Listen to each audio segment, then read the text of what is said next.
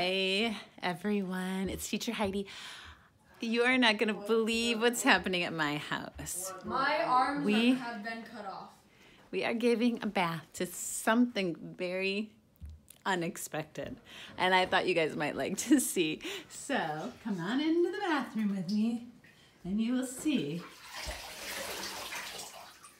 what is taking a bath. It's Keenan's trumpet. He's working to clean each individual part of his trumpet so that it sounds better for a recording he needs to do for his school. And he has these little brushes. Did you already use your brushes? Hmm. No.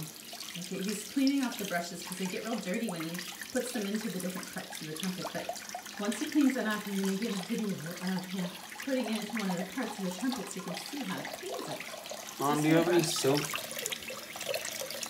Like, um, this is so.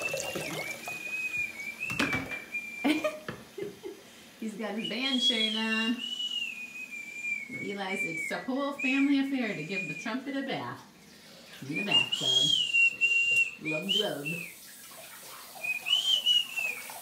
Okay.